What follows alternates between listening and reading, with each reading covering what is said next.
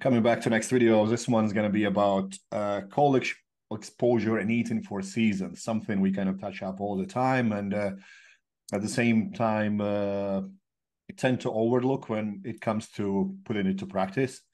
Uh, maybe because majority of people will just use some kind of hormones so they can bypass everything, so to speak. Uh, but for normal people, this is, is probably fairly important. And often we we discuss as well. So when we talk to to people who are how can I even say like genetically gifted and whatnot, or they're stronger and leaner, they respond better to training. And when you actually interview them, you realize they have done all these things when they were growing up. So they have little unfair advantage. Uh, uh, there is a book uh, by Matthew Syed called Bounce where he discusses about uh, long distance runners. He was trying to find long distance runners, genetical, like DNA, whatever the, the hell you, you can pinpoint this one thing. And he couldn't find anything. He was checking them inside out until he realized that they all were living in very poor neighborhood. They ate very high carb diets and they lived probably 12 miles away from schools. So since age, age of like five, six, they were running 12 miles to school and back every day. So by age of 16, oh, you are great at long distance running, completely ignoring that they've been running for 12 years. Uh, yeah. So and, and another thing, another thing that uh, I think is elucidated but not said in that book is also where equatorially most of these kids are. They could mm-hmm. run 12 miles to and from school because the weather there year round was pretty pleasant. I'm, you know, I'm not saying it's, uh, you know, pleasant weather as in it wasn't 100 degrees ever or that it wasn't cold ever, but the weather that was dictated by living at a lower latitude, right? So mm-hmm. now you can eat a ton of carbohydrates day in and day out and utilize them correctly. That will kind of lead into a little bit of what we talk about today. Um, but again, it's one of these things where your environment plays a huge role when it comes to a biological system because we are not robots. We are not designed by other humans. We're designed by nature.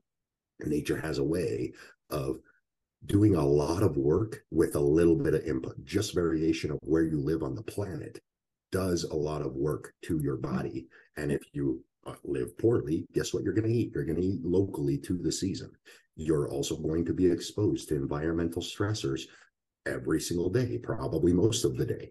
Um, and those environmental stressors are some of the things that we're going to talk about today in terms of how do they manufacture thyroid hormones? How do they manufacture neurotransmitters? How do they manufacture um, sex hormones. Uh, we talked a little bit about that uh, last week in the in the blood work video, uh, specifically with sex hormones. We'll touch on that a little bit today, but we'll also kind of go a little bit deeper into uh, mental health and metabolism because that's something that some a lot of people get concerned about here in these next coming three months, right? Because we're moving from if you live in the uh, northern hemisphere, most of our audience does we're moving from strong sunlight of summer into fall and into winter. And a lot of people lack periodization, right? We've talked a little bit about periodization mm-hmm. where uh, things are dictated by external factors like your finances, like the weather, where you live, etc. And if you're not preparing for those, your periodization is not adequate. In other words, if you think you're going to be doing the same thing that you were doing the last three months, you're wrong. Um, that's that's something that a lot of people struggle with as far as like uh, knowing that they need to change because the environment is changing literally right? Like they don't have control of that. You don't have control of the sun going away and most people think that they can live the same life year round that gets them in trouble. And i'll highlight some of those issues uh, today. Um, yeah, and it's, it's something any... that bodybuilders kind of already do. They have this bulking season and off season and shredding and whatever. Uh, I've I've noticed lately it's quite popular to take two years out, and I'm like, yeah, can, can you really afford that? Uh, because you still need to go through those cycles. And it would be great if you could tap into the physiological effects of environment and seasonal changes to explain how to really maximize, uh, let's say, muscle growth, fat loss, or overall health because we know all three are not really exactly the same. You know, you need to be healthy to maximize both, but a lot of times what people do to achieve either fat loss or muscle gain is nowhere near healthy. So it would be great if you could tap into the physio- physiological effects of seasons and how it affects your body. Yeah, absolutely. We'll go ahead and get started then uh, with, uh, hold on a second, let me share this. Um, Let's see. Screen. Screen. I think would be good also to touch up onto how seasons affect like fat storage. Obviously, that's going to be more relevant for people who are healthy, uh, because when when you have slightly, let's say, off hormonal balance and whatnot, then then everything changes, and season, seasons are not going to help you that much. So first of all, that's why we started with everything from video one. Understand where you're at. It's such an easy concept that people still overlook all the time and they they just stare at you like some kind of Bambi looking at the cars that drives at them and just don't understand what to do. Like, no, you need to know where you're at. You know, if you take a car to garage and if you don't know what's wrong with it, you're gonna have a bill for God knows what. you know, correct. correct. So, uh, so yeah, well, let's just get started. We'll go high level first, and we'll deal specifically with that situation that you just mentioned, as far as like uh, what um, how some seasons influence more fat storage than others but we'll we'll talk specifically in this first slide. Um, you can see right here this uh, four green sections phenylalanine tyrosine tryptophan and histidine. These are amino acids okay? These create the backbones for thyroid hormones, T3, T4.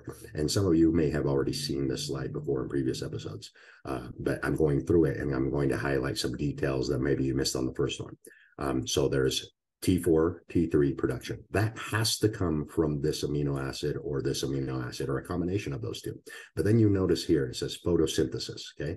That is telling you that photons from the sun have to interact with these amino acids to break them down and become the catalyst to turn them into everything downstream, everything to the right. Okay. So that's T3, T4, flavonoids, DOPA.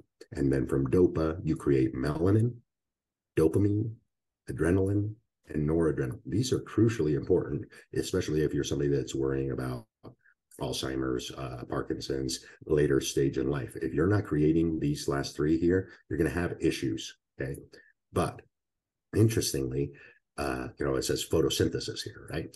And most people currently are going to be moving away from photosynthesis because we're moving from summer into fall and then into winter. So the sun will get weaker and weaker. So that means the sun will have less ability to break these down and move them to the right. But that's okay because this system, this system works in reverse as well. It works in reverse, starting with the one at the very top. What does it say here? It says melanin. Okay. If you have a lot of melanin, in other words, you did your job during the summer and got melanin production on your surfaces, melanin can now be sucked into your brain. There's a place in your brain called the substantia nigra, which is melanin. It is actually black in your brain.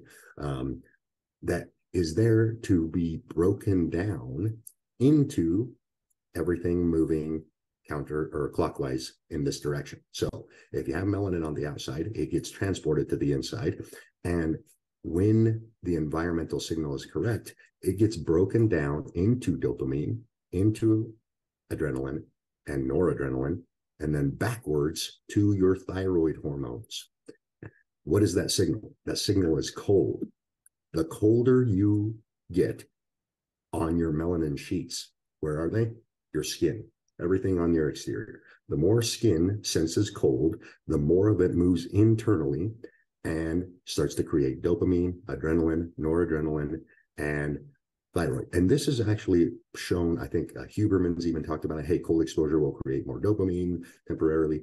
This is the mechanism. This is actually how it's doing it. If you are melanin deficient, I don't care how cold you get, you're not going to create very much dopamine. You'll create some, But what I'm telling you is if you didn't do your job earlier in the season over here with photosynthesis interacting with as much skin as possible to create a lot of melanin in surplus because you were making a lot of these and a lot of these and harvesting melanin. Think of melanin as the way that you're collecting sunlight to use later to do more work later um, when the sun is gone. Okay. Um, and cold exposure does that. Now, same thing over here. So if we go down one step, we go to tryptophan. Tryptophan gets turned into serotonin, which is a neurotransmitter, and then melatonin, which is a neurohormone. This is the sleep side of the equation. Again, photosynthesis is involved in breaking tryptophan down in the stomach to create serotonin. What makes that happen? Actually getting sunlight on your stomach, right? If you're fully clothed all the time, right? And this happens a lot to women. Why? Because they're fully clothed all the time, literally. They rarely expose their stomachs, whereas men tend to be with their shirts off a little bit more often, especially in the summertime and stuff like that. They almost never have a problem creating serotonin and melatonin that women do.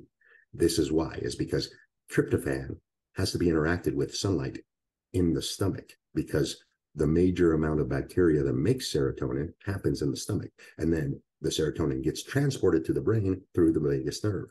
Once it's there, it can be broken down into melatonin uh, at, at high speeds from serotonin to melatonin. But serotonin also gets transported from the stomach to all of your mitochondria on your skin and all your other surfaces and creates melatonin locally to lower inflammation in the rest of the body. So sunlight and tryptophan create an anti-inflammatory effect because of a lot of local melatonin being created from the neck down. And then extra serotonin gets transported at night to your brain and in the absence again so there's a trigger right? There's a trigger. Just like over here there's a trigger to switch from sunlight uh, manufacturing melanin to melanin manufacturing everything in reverse is cold. The signal over here is it starts in the morning. It, think of it almost like a season that's shortened down to the day. So tryptophan in the morning lots of daylight especially on your stomach creates a lot of serotonin and melatonin locally. At night when blue light stops entering your eye then it goes uh, serotonin quickly, making melatonin and activating melatonin. And it can go backwards there. When melatonin is released, it can create more serotonin, creating a sensation of peace and well-being and, and at peace, right at night. That's what should happen every night. So, and I have just like an anecdotal observation that I have people I work with who are telling me, "Hey, my knee is sore, my elbow is sore, my shoulder is sore, whatever." And, and I asked him, can you go for a walk after training without your t-shirt or whatever? Spend some time in back garden or whatever for like 20 or 40 minutes. After a week, they start they stop talking about their sore joints anymore. And yeah. they completely forget about it, that they had issues. All it took is just get a little bit tanned. Uh, instead of grabbing medications and doing all kind of things that will work, well, but they're not really dealing with the issue. Yeah, I love the way that you you know you get them to do it. Hey, go for a walk outside or go relax outside, right? Because that's really all you're trying to do. But in you know when I say it, I go, I need you to get outside with as you know, I need you to get a tan, right? And then they look at me weird. Whereas, whereas you, you're like, just go outside for a walk, right? And without your shirt off, and they go, okay, that's a little weird, but not as weird as David saying, hey, I need you to go get a tan because that's going to fix some things, right? Mm-hmm. Um, this is this is the science of where where that comes from. Melatonin is an antioxidant. It's going to create less inflammation, and melatonin gets made at a high rate in your mitochondria if they're exposed to UV light because they're using serotonin and tryptophan at the mitochondrial level with sunlight input to turn over more melatonin from the neck down. It's not melatonin that's making you sleepy, it's melatonin that's acting as an anti inflammatory. Okay. Hmm. this does not mean take melatonin. If you do that, you disrupt the signaling at night. Okay. If you start taking melatonin at high doses, you have the potential, especially if you don't obey the law of what I just said, that's very crucial for this to happen, which is blue light at night. I will warn, there's a warning here. If you take melatonin and at night you are not blocking blue light, you risk damaging your eyes. Go back to uh, the the eye uh, episode that we did uh, about. And, the, and we also mentioned that in jet lag uh, episode as well. Yes, exactly. Right. If you're taking melatonin and you don't know what you're doing and you're not protecting your eye from blue light at night, you risk severely damaging your eye. You, specifically, your eye becomes thinner, your cornea becomes thinner, and you get uh, myopathy first, and that can lead to other things like retinal tears and stuff like that. Melatonin can be dangerous if you don't know what you're doing. If you're just taking a bunch of it and you don't understand that there are other parts of the mechanism that you need to take care of. Um, yeah, and what you mean, it's probably like chronic use, not like once every three months and forget about right, it. Right, right, right, right. Once every three months, not a big deal. But again, it from the concept of oh, melatonin is an anti-inflammatory, and I'm an older person, like 40 years old. I'm going to just start taking it every day for three months. That's a mm-hmm. bad idea, right? Like, yeah. don't do that. Instead, do what Juris just said and get outside and get tan. Now, and, and we do see that a lot of people will take all kind of things to deal with stress and do many other things, which is not dealing with the cause of it. It's just dealing with the symptom. And we explained it in, in previous video and videos before about like, hey, you, you your cortisol is always telling you something. You need to deal with it in different way instead of taking drug to suppress it and just confusing the hell out of your body like hey what's happening? Yes absolutely.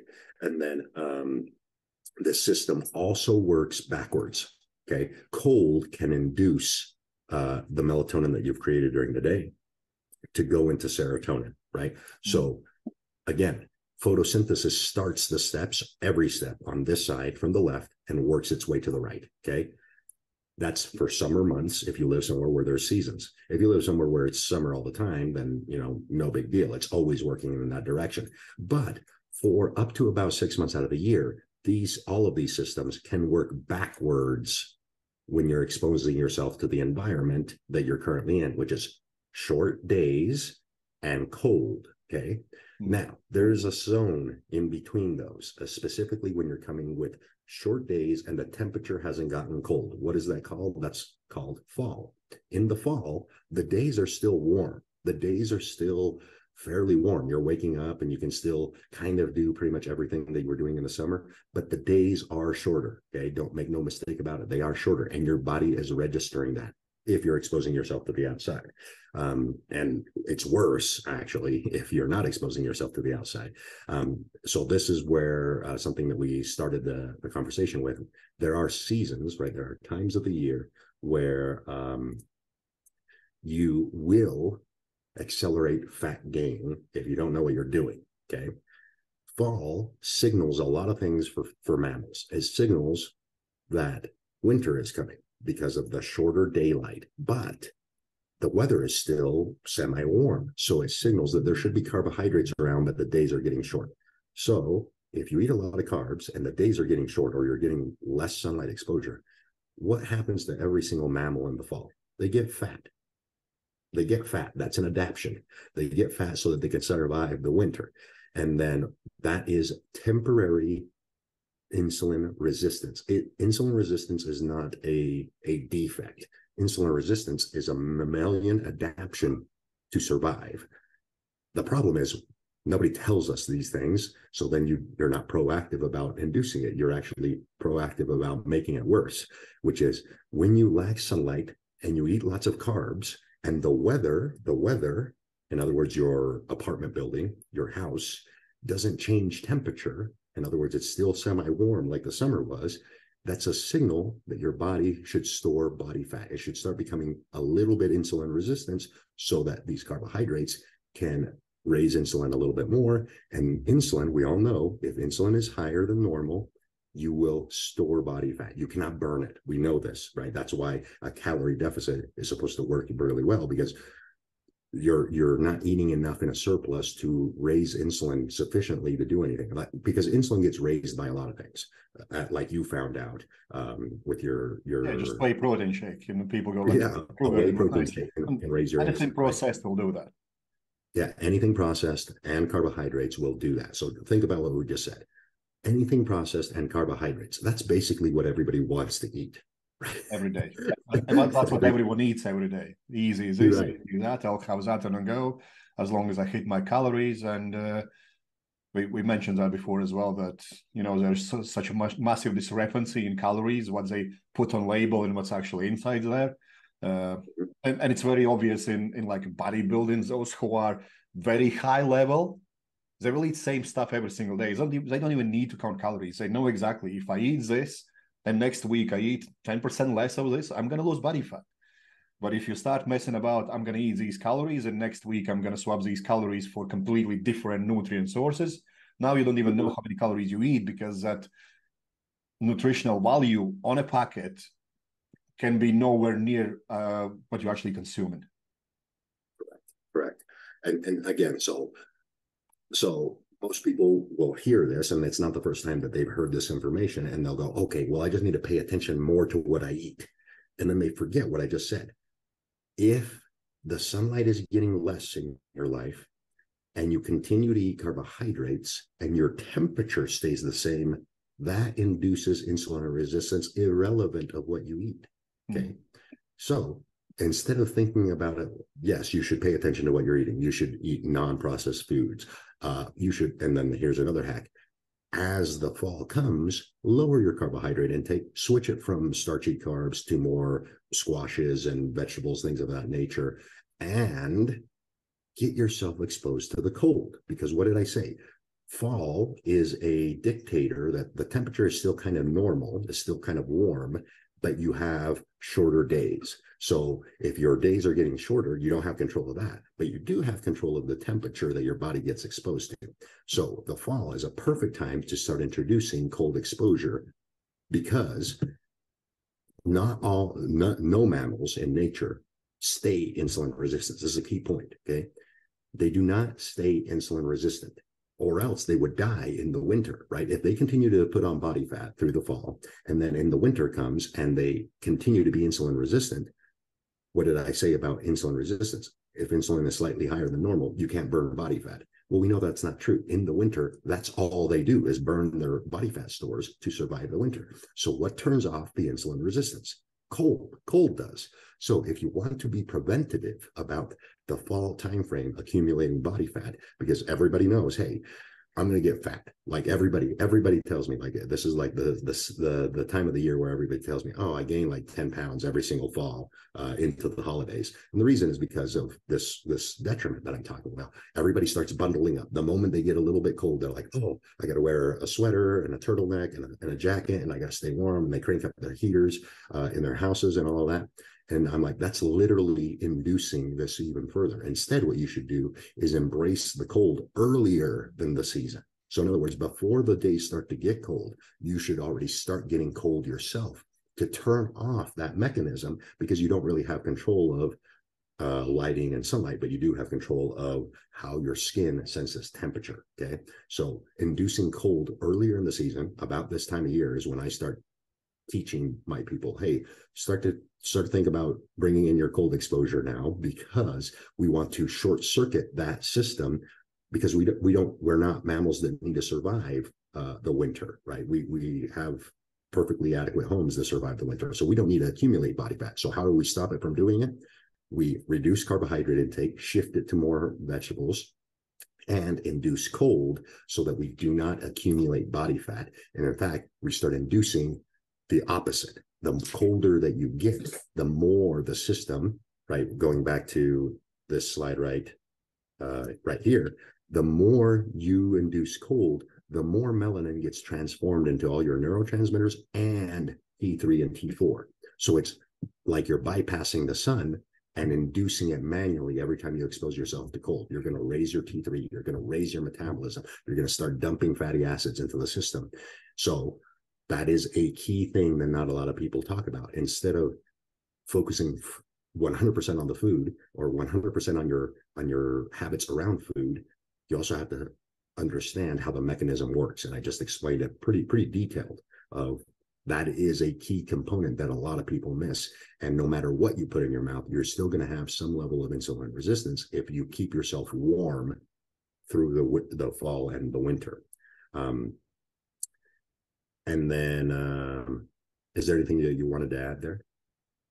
I bet a lot of people will be asking, "Hey, where do I get these amino acids? Where do I get phenylalanine, tryptophan, histidine? What's what type of foods can I eat in these colder environments to uh, still match it, or what do I eat throughout the summer when I'm getting my body prepared for all this this change? Uh, I, I, think that's quite important. So yes, you're you're 100 percent right. So the the key components, uh, phenylalanine, tyrosine, tryptophan, and histidine, those are all going to come from meat they're going to come from actual protein.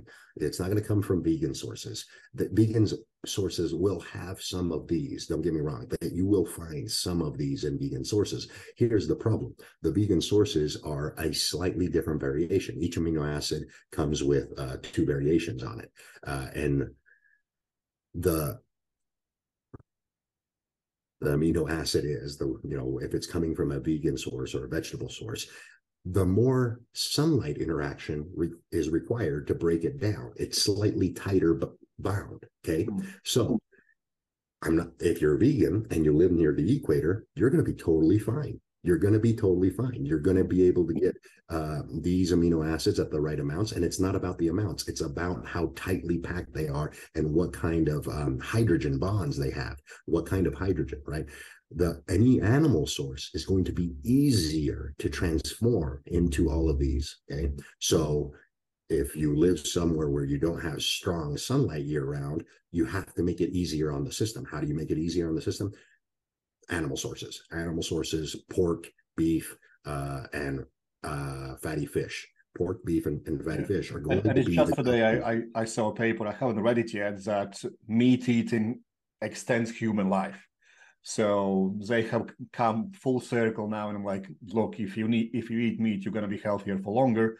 Uh, I really want to read that paper thoroughly, but we, we we do know that people who are coming from these blue zones and whatnot, they usually eat a lot of fish and all those kind of things, and that that's where the most nutrient dense products actually are you know? You you can't get nowhere near as much nutrients from from a plant. It's it's just very hard because we are not we are not gorillas and you know when people compare yeah but look at these massive animals. Yeah gorilla eats 83% of his life. He just eats and they have so much time to just eat so yeah, yeah also, they're, spend, they're spending 90% of their day eating and digesting, right? Like that's not you, right? Like if you want to do that, okay, you're going to do that. And like I said, okay, if you're getting most of your, because don't get me wrong, this process is the same in every mammal. So the gorilla, let's just mm-hmm. take the gorilla for example. It's getting tyrosine, phenylalanine, tryptophan, and histidine to make these. These are hormones and, and neurotransmitters that are made at different amounts depending on the species, right?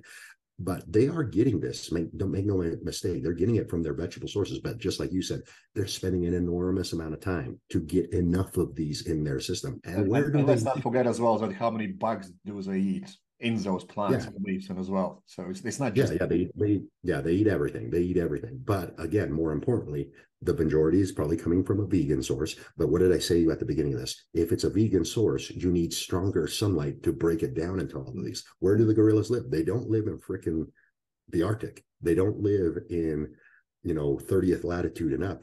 They live at the 20th latitude and down. So they live by default in a strong sunlight environment, which dictates how they eat. Okay. Mm. People forget that the, that the environment is king.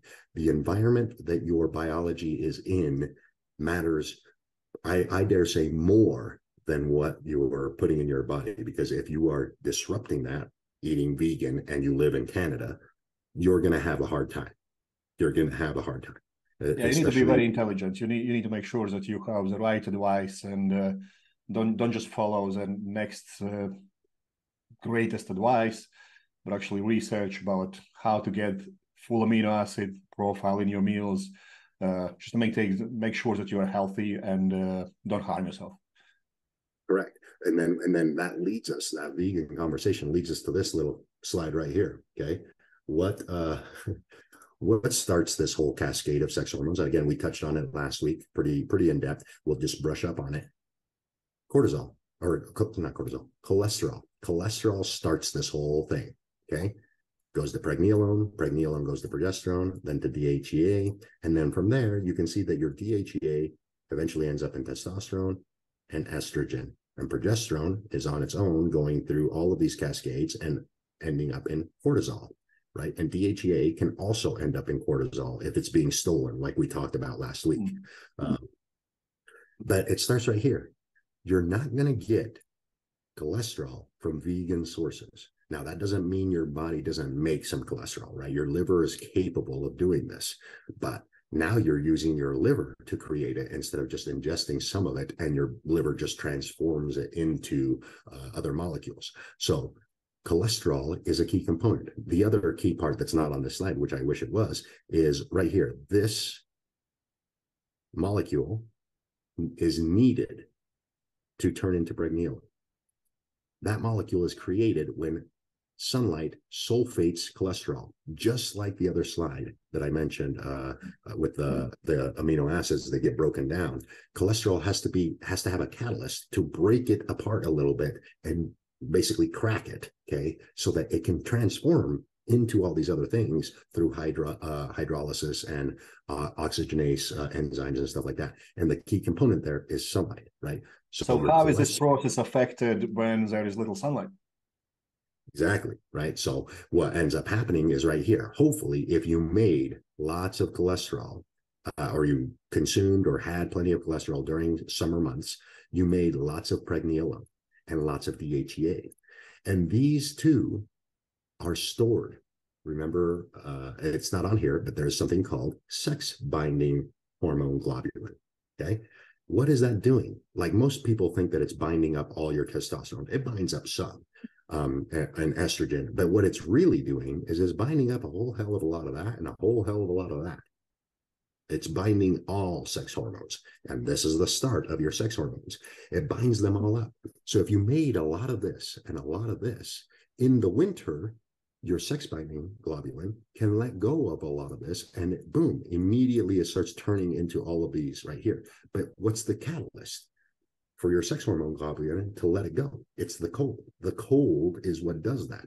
The cold is what lets these go from the manufacturing process earlier in the year. Now i said something very important there if you did your job during the summer you made probably plenty of these I'm finding lots of people don't do their job in the summer and get a lot of exposure and a lot of melanin and a lot of cholesterol sulfation. So I'm fully expecting uh, it, this this fall to have consultations where I look at their DHEA and it's abysmal, right? It's like way, so it maybe even flagged low. So it's like, holy crap. Okay, so you didn't really do this this part. So how am I going to fix that now that the sun is gone, right? Because you live in you know, Michigan or Toronto or whatever, right?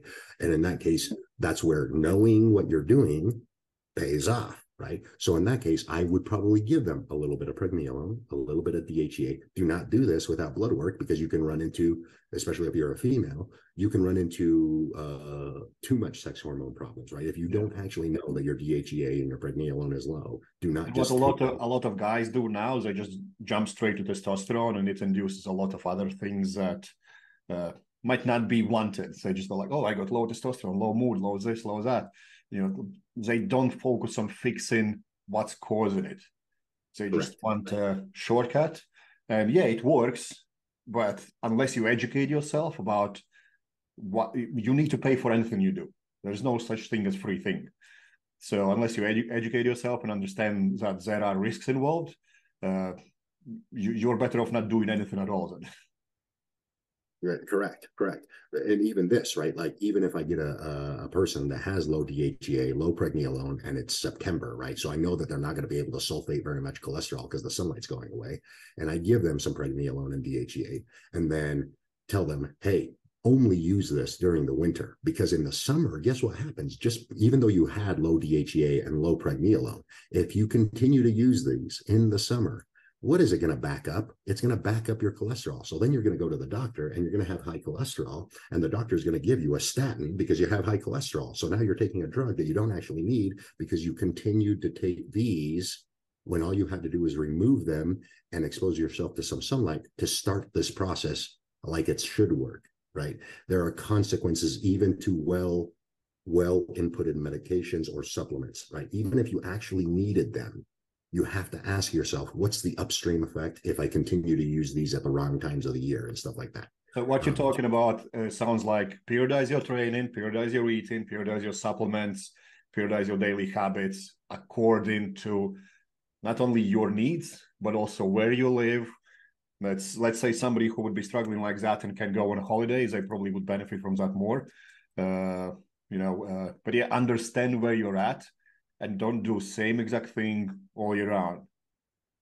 No no you, you can't especially unless you live let's say somewhere.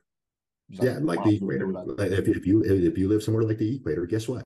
Now you probably can get away with doing the same thing year round because guess what the environment doesn't change very much right remember what i mm-hmm. said uh, earlier your environment dictates a whole lot more than people give it credit for in fact it, it, uh, i dare say it dictates about 80% of what you should be doing uh, mm-hmm. almost certainly about 80% of what you should be doing when it comes to food when it comes to lifestyle when it comes to uh, environmental exposure things that you need to do and that sort of stuff but yeah and and and what you'll find is if you do live somewhere where it's pretty static year round, like the southern tip of Florida, you probably don't run into these issues to begin with because even the little bit of sunlight that you might get because you live a modern life is still strong enough to create these cascades very easily, right? Stronger sun makes this happen faster, right? That's a key concept, which is kind of what you alluded to. Hey, if you live somewhere where you're having these issues, going on a holiday for a month or three weeks or whatever, um, may be extremely beneficial, especially if that holiday involves going somewhere at low latitude where the strong, where the sun is incredibly strong. So now we've taken everything into account where you live, what time of the year you live, what you eat, uh, daily habits, all these kind of things, how they affect you and whatnot. What about uh, practical strategies for training? What uh, comes into mind? Uh, what's more optimal let's say in winter to summer is there really any necessary changes that needs to be made to to get the most out of it? Or can you train similar all year round as long as you manipulate your nutritional strategies maybe some daily habits? Uh, is there really any strong evidence that something needs to be changed? Uh, and uh, what what do you think of people who are living more towards equator and someone who is living in like yeah, let's yeah. say those are all really good, great things. Would so, they benefit from different training strategies through the seasons as opposed to somebody who lives where seasons don't change that much? Yes, yeah, I would say indefinitely it would. Um, and so here's my thought process around that. Okay, so in the summer, right? If you're if you're doing your due diligence, I'm going to make the assumption that you're doing your due diligence of just getting some environmental exposure and getting some melanin creation on your skin. Okay, if you're doing that, melanin by itself, when sunlight hits it, creates oxygen, and the reason why it does that is it charge separates water. What that means is everybody knows that water is H H2O. So that means when it gets charge separated, you end up with two molecules of hydrogen and one molecule of oxygen. I, what I, does that mean? I hope everyone knows it. Yeah, yeah, yeah.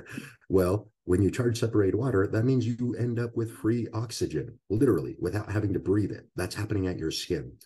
Uh, you know who else does that? Uh, amphibians. You know where our neuro, our, our uh, photoreceptors come from? Amphibians. Amphibians are what donated melanopsin, neuropsin, uh, all of these opsins into our brains and skins uh, for these for these things, and they breathe through their skin. This is one of the mechanisms that they use to breathe through their skin. They have dark spots on their body that charge separate water so that they create oxygen at the skin level. We have that same capability. So knowing that, hey, when there's strong sunlight, you actually become better oxygenated your your lungs are doing their thing year round but your skin now adds to that especially if you're getting melanin going okay? So what that means is that um, in the summer or strong sunlight environments you can now work at higher workloads in a hypoxic environment. So that's a key thing there is going to be hey you can now raise your aerobic capacity and burn more body fat if you choose to do so at that time, or you can raise your aerobic capacity and work harder in a hypertrophy sense. Okay. Um, and that is going to essentially help keep tissues oxygenated. So it's a time for performance is what I'm saying, getting at. So, so can I just clarify that so some people don't misunderstand? It doesn't mean that you are more efficient in a hot gym it means you are more efficient if you either train outside in the sun or if you have been a lot outside in the sun and now you train in a gym. Uh, right.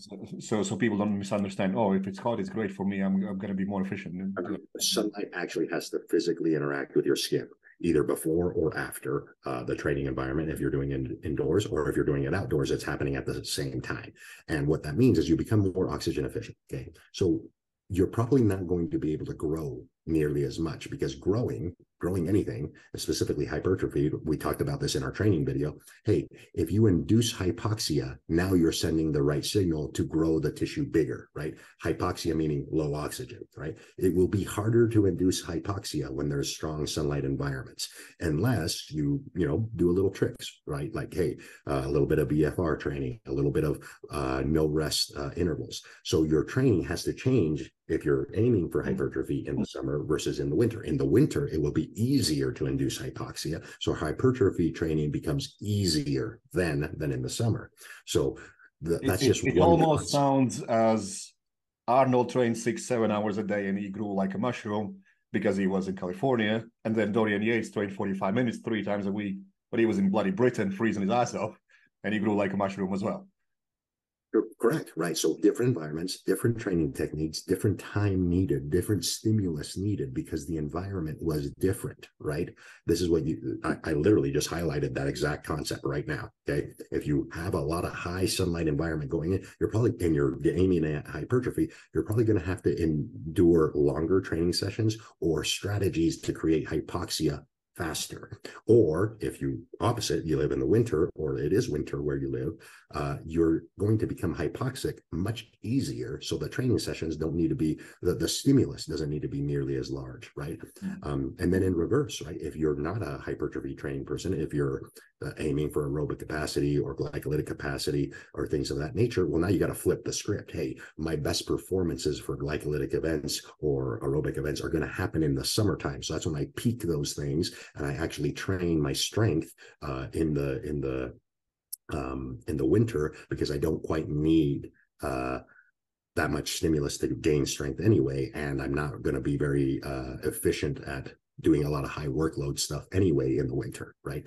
Like that is a key component, right? And then if you're inducing some cold, you can kind of sidestep uh, some things when it comes to fat loss. You can basically create fat loss year round if you know what you're doing. Um, with some of the key concepts that I alluded to at the beginning, right? With cold exposure at the right times of the year versus sunlight exposure, uh, because you can manually stimulate higher amounts of T3, T4, and other neurotransmitters that can help you not eat as much food, like uh, dopamine, adrenaline, and noradrenaline. If you have high amounts of those all the time, it's easier to adhere to a nutritional strategy, right? So again that's that's those are key concepts that some bodybuilders and things that people that like to get really shredded use. They will use ex- external amounts of st- uh, stimulants noradrenaline adrenaline. What does that do? It suppresses appetite makes it easier to adhere to but you see what i'm saying? Like you can manually induce some of these for people that don't want to use a bunch of drugs. And even then right if you are using those types of drugs specifically you have to be careful. Um, you know you use too much noradrenaline, you're going to have heart issues. You're going to have cardiovascular problems and things of that nature. Um, so yeah, these are all concepts with training in regards to your goal. Again, what you alluded to was beautiful. Everything needs to be periodized. If you know what you're doing, the the periodization starts to work itself out about where you are, where you live, what you're doing, what your goal is. You put those on the table. Now you can periodize correctly for all of those things. And and it's also what we talked about at the beginning that uh, you need to understand where you're at. Like a lot of people don't make a correct assessment of their starting point, and they just want to do everything. Which brings me to uh, what have you heard about the most common misconceptions, myth, and these kind of things when it comes to cold exposure and eating for seasons and things like that? Let's say the most common will be, hey, if I do cold exposure, my muscles aren't going to grow because it dampens all kind of things and no it's not good for you. Uh, and my, i always tell them okay if that was the case all russians should be very weak. Because when i was growing up i didn't even have warm water. Like i had to wash in cold water. Once a week i had warm water that was about it but you didn't go around stinky. Or smelling like you know what i mean? And uh, within three years of just lifting some weights i was strongest in my country by a mile yeah. so uh, what what about that? What can you say about that? Yeah, so it, it let's put it this way you have to be smart about what you're doing right okay so you get done with a training session and then you do a bunch of cold exposure is that going to dampen growth factors absolutely did i tell you that you needed to do your cold exposure right after your training no, I didn't. I said environmental cold exposure is something that you do as a stimulus to start or end your day, right? Now, if you think about it that way, okay, I'm starting my day from a low inflammatory state because I took a cold shower or a cold tub or whatever. And then later I'm going to train. That's actually going to make the training environment even more potent. Do you hmm. understand what I'm saying? You can train hard. From, yeah, exactly. Well, even then, you won't even have to train as hard because your baseline is lower than it normally is because you started your day with a cold exposure that lowered inflammatory mm-hmm. markers right so let's say you didn't recover very well over the over the night you wake up you do some cold exposure that will temporarily lower all inflammatory markers and all the enzymes related with that. And then three hours later or whatever, sometime mid-morning or or even like an hour later, right? Uh, you you go to the gym and you and do you start your training session the baseline is here and just a small training effect will create a higher than normal baseline of those inflammatory markers that you want to create hypertrophy and the adaptions. In other words you're making it easier on yourself if you do the cold exposure correctly. So that is the that is a great myth because a lot of people are like oh i can't do cold exposure because it's going to ruin my gains or whatever right? I'm like well how are you doing it? Because that matters. That matters a lot. What what when do you do it? Do you do it immediately after? Well that's probably not very good. Do you do it right before? Ah, that, that's actually that actually might be beneficial. I just described a, reason why it would be. Um, and then doing cold exposure let's say in the evening right? So say you trained anytime during the day and you do your cold exposure in the evening well that's even more beneficial because that's the whole point of the evening is to reduce inflam- inflammation and recover from the stimulus that you put in play right? So again it's it's people are not thinking because periodization is not just week to week month to month. It's even throughout the day right? It's even mm-hmm. throughout the day so the way where you put cold exposure does matter. It's not always detrimental for your gains. In fact, it can be beneficial for a lot of reasons, like I just highlighted, just at a high level. Right Especially there. at high paced lives that we have now, where you have so much exposure to stress of any kind. Yep, absolutely. And then as far as like myths around eating seasonally, um, it's it's not that hard if you go out of your way to just eat whole foods right? Eat whole foods and then uh, a lot a lot of the things that i get is like hey how do i know what to eat uh seasonally? Because i don't you know if i go to the grocery store it's the same stuff year round. I'm like well just call your farmers market up. Like just go to the farmers market on a weekend somewhere locally and just ask you know once a month go to the farmers market buy some of the stuff that's there and ask them, hey, what's growing seasonally right now? And mm-hmm. most farmers mm-hmm. will literally tell you, oh, well, this month and next month, these things are all going to be in season. In a month or two, these other things are going to be in season. And immediately you have a blueprint that tells you what you should be shopping for. It's and, and in winter, you probably will have access to like fermented foods and a lot of meats and all those kind of things. Yes, yes, absolutely. In the winter, it's actually very simple animal, animal sources for your fats and proteins and fermented foods and vegetables. Root vegetables will keep during the winter. That's a staple that's happened generationally, right? Uh, think tubers of any kind, right? And fermented foods of any kind. Uh, and then meat sources, right? Like basically any meat source that you can think of, eggs, things of that nature, things that aren't going to be on the menu, um, probably pea protein and and and rice protein and things of that nature. Those are not things that are conducive if you live in a winter environment because you're sending the wrong signals for your body to be even to be able to break them down like i alluded to in the amino acid slide earlier in this in this podcast. Yeah and it's uh, something that people need to experiment with. And like i said unless you are already healthy you're probably not going to get the most out of it so understand where you're at, do your goddamn blood test, you know, check yourself, understand where you're at, where you where you want to move forward, understand where your hormones at. Hey, low testosterone doesn't mean you need to start jumping on TRTs and whatnot. Understand why maybe something there is along the lines that needs to be fixed, and and that's going to be uh, improving your mood, your recover uh, ability to recover, uh, cognitive function, and and whatnot. And uh, I think the biggest takeaway would be that uh, we have developed these things, adaptation to cold and different foods and whatnot, over thousands of years. We only live the way we live now for last couple hundreds of years. And this yeah, is also that, it, this is also the period where people get sick very easily. Uh, the, it it might be coincidence, but maybe it's just strong correlations that we need to stop living like uh, caged birds, so to speak, and start living the way we have let our body to adapt and be at its strongest for way longer than what we practice now. Absolutely, absolutely. That's probably the best way to end that that that whole thing. Like at the high level, that's what that's what all of this means. Awesome, David. Thanks for your time as usual, and uh, I'll speak to you in the next video. Awesome. Thank you. Have a good one.